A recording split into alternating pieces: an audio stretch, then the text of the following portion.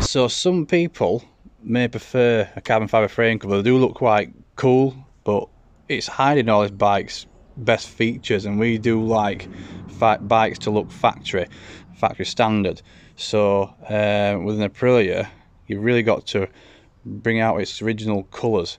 So we don't like this. We're going to take it off. Only thing is, we've done the left. We've done the other side, uh, and it was a nightmare. It took us nearly all day today and all night yesterday. Uh, the guy who's had this fitted has not done it correctly. What he's done is use some kind of looks like black tiger glue, silicon glue, which you use for fitting body panels and on cars, and you do not ever dream of using such a product to stick one of these on sticky back tape or a few little dollops of silicon may hold that firmly or in fact velcro.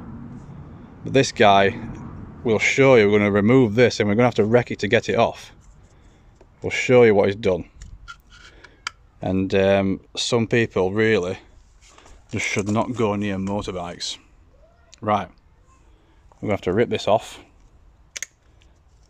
It's going to take us a while but you'll see the devastation this guy's caused. Okay, so here's an update on where we are so far with it, and doesn't that look an absolute mess? We brought the bike inside because it's getting late, it's cold out there. We have been at this for a long time now, quite a few hours. Um, we're tired. This is, I've never seen anything like this. We're having to drive a wooden wedge so we don't scratch any of this frame down the back of it to shatter this off and then this glue what they've used the guy the guy who put this on uh, fits body kits to cars permanently.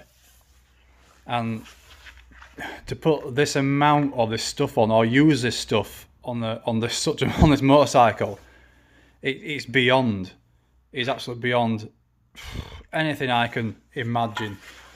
I'm, I've seen some stupid, stupid stuff in my time, but this is incredibly stupid. It's even gone right under here. This would have just required a little bit of silicon glue, maybe, or just some Velcro, or some sticky back tape. It wouldn't have come off.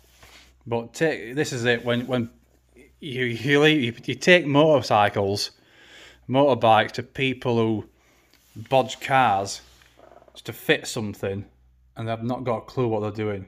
But yeah, this is just awful. But we'll get him right again. A few more hours to get this off.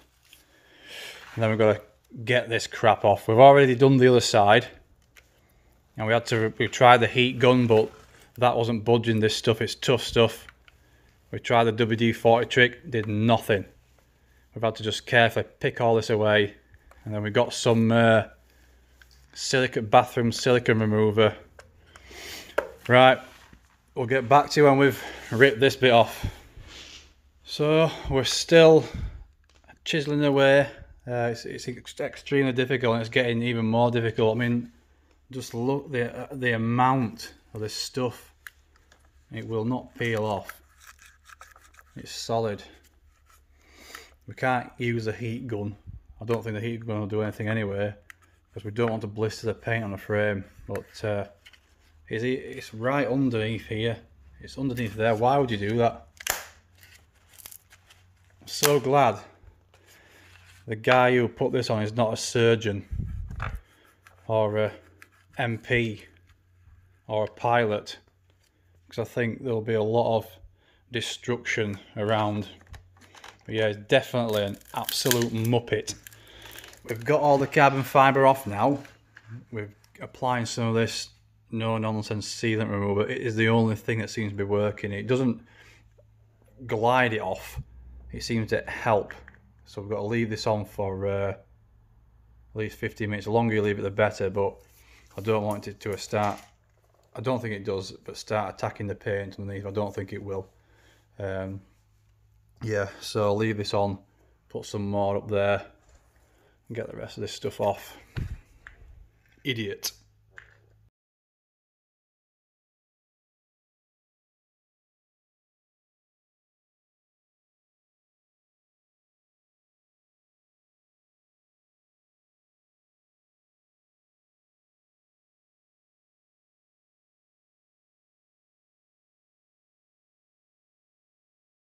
All right, welcome to the spray booth. We've got all the silicon off, the black silicon. The frame may look okay on camera, but we've just done some a few touch-ups with a brush. Uh, things we can't do is this here, look. It looks awful there. I'll try and zoom in. There we go. You can see some little spots where we've touched in with a brush, but it's just not acceptable. And there's a nasty bit here, look,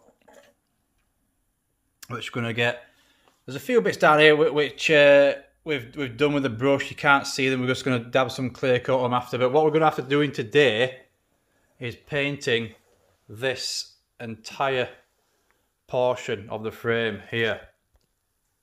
It's still got some chips up there, which is probably common to be fair. We don't want those in there. What I'm going to do is I'm, we're going to masking film the whole bike and we're going to expose this area. We've got everything out of the way we're going to mask it round here, around these welds. And then we're going to shoot some colour all over. We're going to start with these little touch-ups first, and shoot some colour to blend the whole thing. Then we'll clear coat it, and that'll be it. Right, we've got the colour mix. We're going to get this masked up, and then uh, let's shoot some colour on it, yeah? Yeah. You going to give it a go? Yeah. All right. There's some scissors there. Reverse it. Chop off the big with these. What I can do is just cut some off and we roll it back up. Stop. Because this stuff, to be honest with you, you know this stuff, it goes long that way. but let's chop it. Let's chop enough off here. Right here. Let's have a look. Yeah, a little bit, a bit further that way. That's That it. way? Yeah, That it's cheap stuff and there's lots of it, so. And then let's roll that bit back up over there. Yeah. And this stuff just keeps unfolding and unfolding and unfolding. Because it's actually long uh, this way.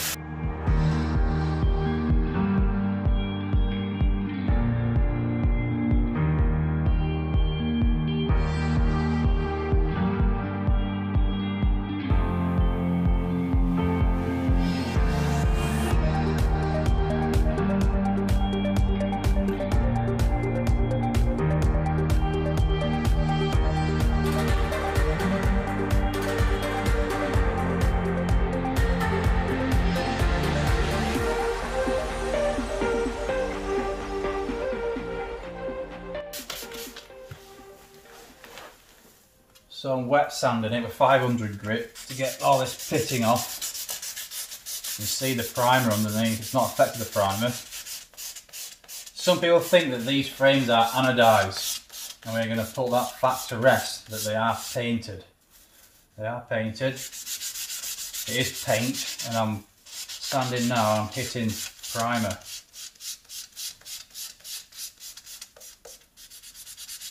And anodized stuff does not go like this.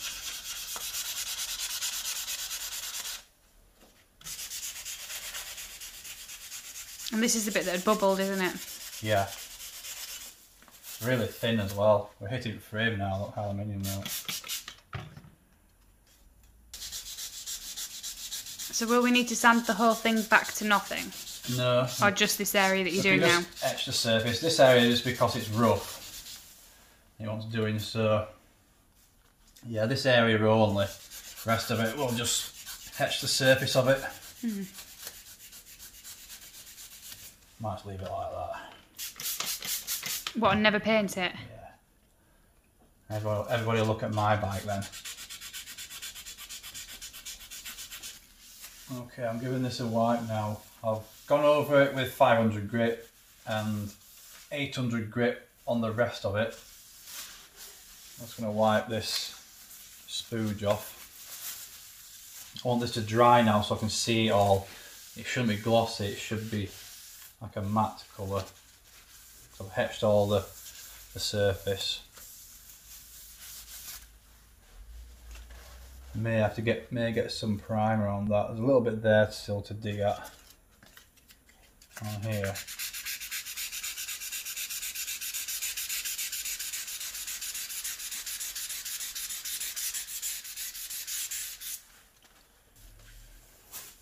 Right, Need to make sure this is dry as well because when we're spraying we don't want it to flicker. So we don't want any water flicking up at it.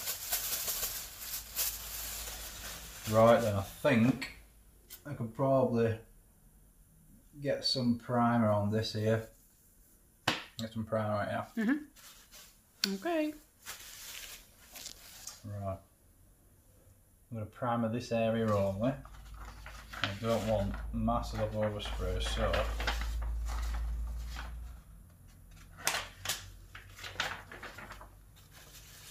What I'm going to do.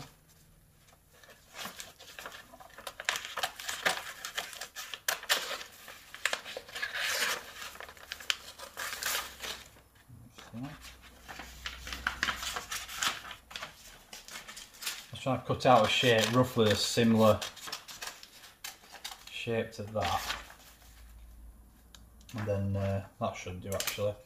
Just so I don't get loads of overspray and I can divert this all over just like that. Right. Should we get our masks on? You get the masks on. Pick up any dust. It doesn't really matter as much for primer because you're sanding it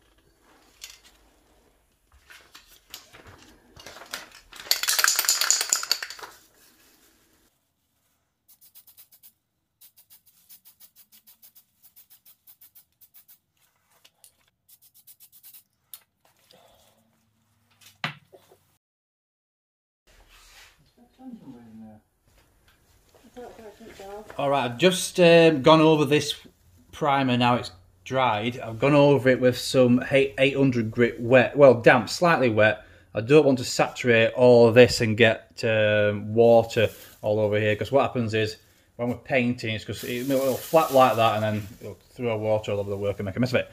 So we've hatched all this primer, it's ready to go. It's all blended down here. We're going to go over it with our tack cloth. The tack cloth just to get off any dust before we apply any colour. But first we're going to mix our paint. Give that a quick wipe now. That should gather up any dust. Right, mix some paint. They're always stuck together these, it's like getting a cup out of the Costa coffee machine the services.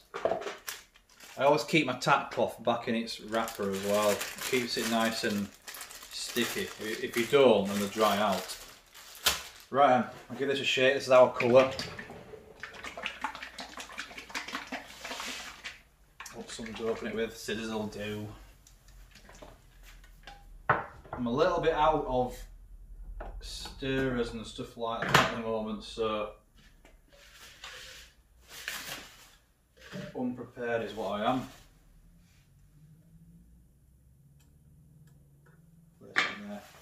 So I'm only going to pour out probably about 50 mil of paint up to there. In fact, I, I can pour out, uh, I can pour out 100 mil because what I don't use, I can pour back into here, even though it's got thinners in it. Right, you want to come closely on here? So I'm going to get this. There's more than enough colour. I'm going to go in there. Believe me, that's more than enough. But what we don't use will be going back in the tin. Oh, let's give this a wipe as well so the lid goes on better. So this colour is not actually gold. It's it's some kind of yellow. It's been formulated specially because I can't find the original colour. Next up, I don't want that clear coat, thinners. Where's my thinners? There we go. I want some thinners now. I do. I, I always go over this every time I'm painting on a video, but two to one ratio, two to one. That's where you start at. But to be honest with you, I, I will put 30% in. Sometimes, if it, if it doesn't feel right, I'll add a bit more thinners. I can go 50-50 with the thinners, to be honest with you. I'll just get some to stir that with.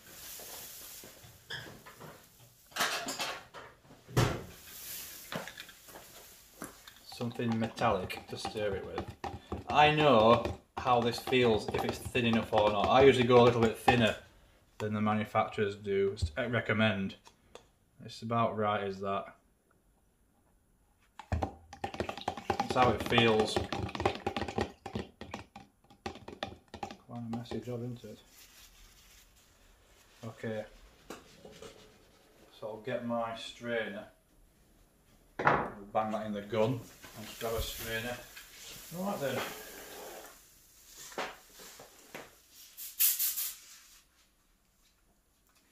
I've cleaned out my gun. Every time I paint, I always clean out the gun. No matter if I cleaned it out before I put it away. Run some thinner through it, check it all. And try and use one gun for each colours. If you're using dark colours, have a specific gun for that. If you're using white, then I only have a gun for white, I would. Pouring all that, we're not going to go right to the very top of the container. We're going to spill that out. Right, I'm going to get my mask on. And what I'm going to do is shoot some of this at that. I've not got any uh, test paper. We'll shoot some of this, get our fan correct, and then we'll uh, we're good to go. Let's have a quick quick feel. We'll blow some air through it.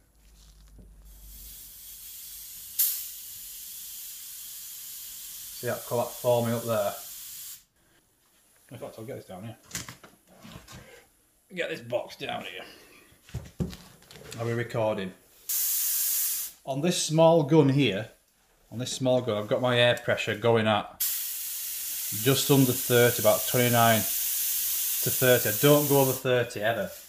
But that's where my pressure at on this uh, HVLP, uh, LVLP gun, low volume, low pressure. If I'm doing touch-ups, low volume, low pressure gun. So I've got my fluid, my fan is all the way in, so I've got a circle, and my fluid is barely out. So I'm spraying now. You watch that pick up.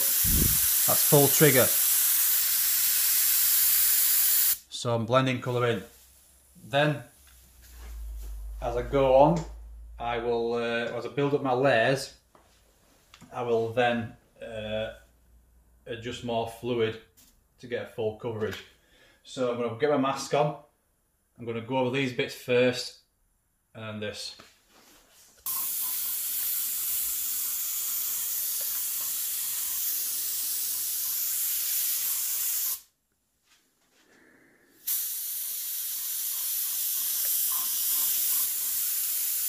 That's it.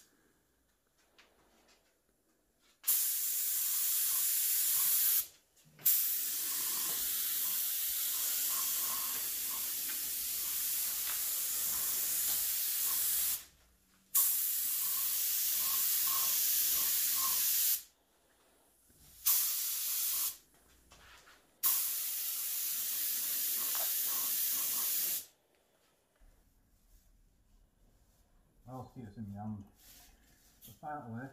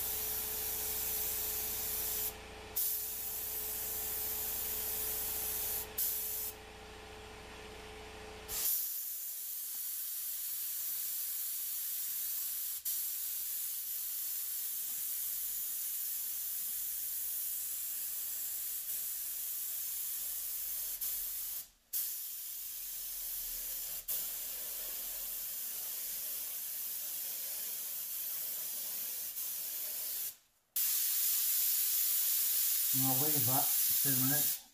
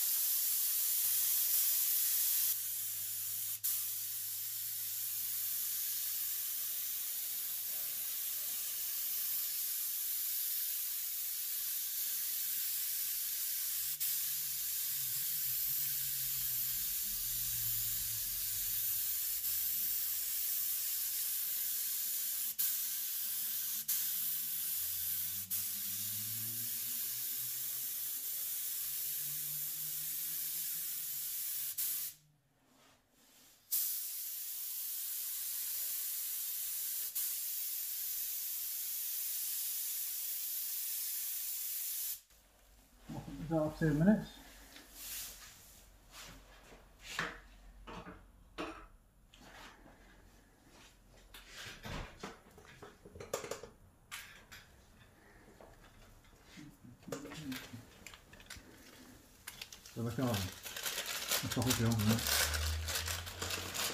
Right, that's all flashed off now. Um, what we're going to do, just show you some of the areas we've done. So we've done a little touch up here, some up here on this side. I think there was one there. That was one of the worst ones. Well, this was the worst one. I'm going to keep painting this. You can still see the primed area. We're just waiting for that. When that disappears, we're going to go over the whole thing. But you can see the colour match already. Perfect, perfect colour. We've gone up here also with it. There's a little one there I missed. I'll go over that. What I'm going to do is um, finally I'm going to peel back this tape here so I can just blend it into the frame, into the weld. Right, we'll go over this with a tack cloth and then um, we should be good for another coat. Okay, we are almost there. I'm going to put one more coat in and you can see that all that primed area has now disappeared. You kind of, on the camera, looking for the screen here, it kind of looks a little bit pale. It's not picking the colour up right, but it's actually deeper than that. Um, for the final coat, because I'm blending now, I'm going to peel this back. I've not painted beyond these welds here. I just want to blend it so I don't end up with a line. So I'm not going to paint over this line. I'm going to paint up to this weld. That's what I'm going to do. Not over it. Okay. Let's go for it.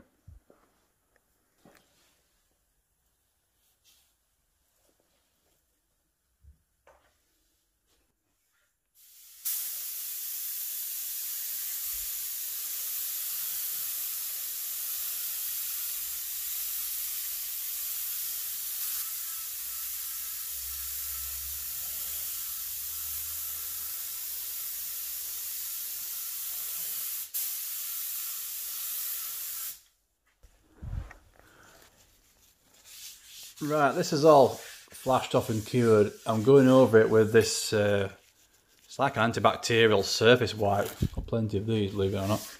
It won't harm the paint, and I actually go over between coats with these. Or between, I said, two or three coats, I'll go over it with this. It gets all that roughness off, all that dry dust. It's like washing it, giving it a slight polish. And any, any dust that's settled in there layer by layer, this will just pull it out. And I'll do this before I go over it with a clear coat. Once that's done, once that's done, I'll lightly not press on, but I'll go over it with a little towel just to dry it off because you can leave watermarks in here. We're not putting any more colour on now. That's all cool, all good. And then one last thing is the tack cloth. Lightly pull that over it because the towels could have left fine fibres in there. I, I don't like to go over this briskly because you can create static and it will attract dust. The thing is with clear coating, which we're going to do now, sorry, things with clear coating, it's thick and it catches stuff. The overspray catches dust in the air and it'll just go straight down onto your work. That looks alright. I'm going to take a close look at that. We'll mix some clear coat. Okay, clear coat. Well, we've got two cups here. Just a second.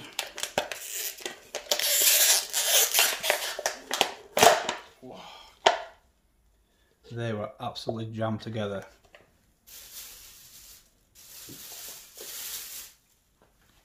Clear coat, right. Here's the clear. We're going to go 50 mil, 2 to 1 ratio. Hardener. And a little bit over there, so I'm going to fill the hardener up to here.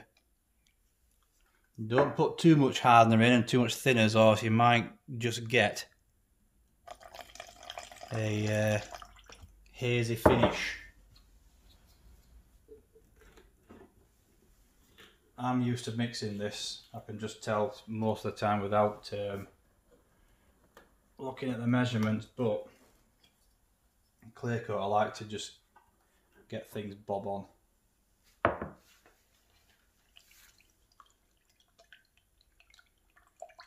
Can mix some more if I need to. I don't want to waste this, you see. I end up throwing lots of clear coat away. Or should I say disposing of it, which I do. I pour it into uh, a box and let it solidify. Right. Get that in the gun.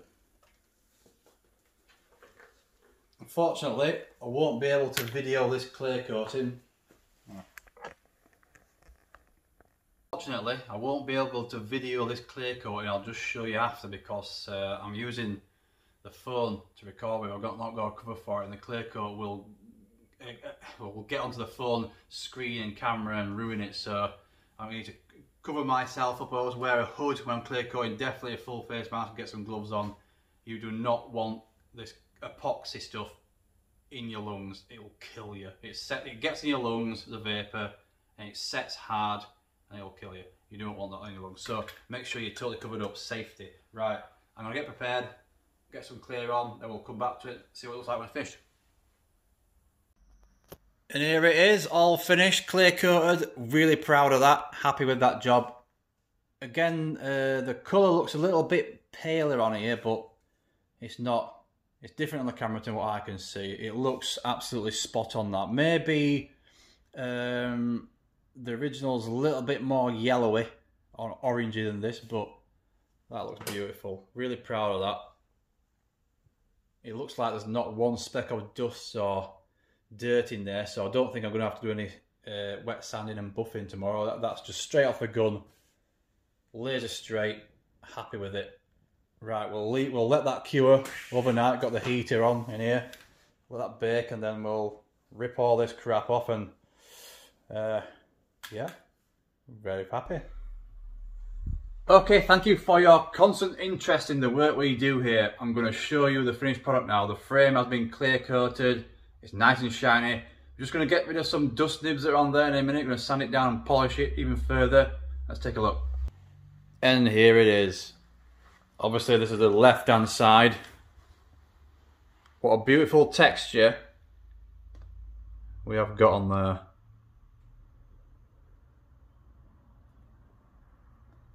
So we've obviously left this part original. It's got kind of a little bit of a uh, rough uh, finish to it, so we're not going to paint over that. We've, we've touched up a few little chips with the brush around here and around here, here. But the colour match is, is spot on. And you can, you can see here that uh, where, where I had the masking tape, the reason I dragged it back towards the end was just so we get a light feathery blend into this so we don't want a shiny patch around here. That's why we dragged the that's why we kept the the masking tape quite light and didn't, didn't fit it tight to the welds. If we had done that then we would end up, end up with a line which we'll have to get out. So it blends nice and easy. Uh, I've just took the string off these because I were holding those up, but yeah. We've got a little, oh it's gone, thought it was a dust nib. Right, I'll show you the other side. And believe it or not, yeah, it's going to get polished and waxed, so it'll enhance it further. There's not a great deal of work to doing it. I think this side's better.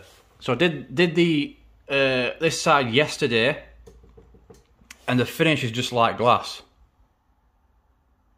Nice, light, gentle coats of clear coat. Don't ever put them on thick. Your first coat, just just coat it in, just like I did with the base coat.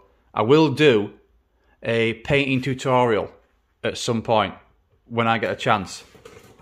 Uh, my wife, she painted a bar and whites as well. This colour uh, matches the, the Öhlins suspension, I believe. So these bits here, uh, I masked over this. Well, no, what I did with this was I put some um, paint protection film and just cut round it.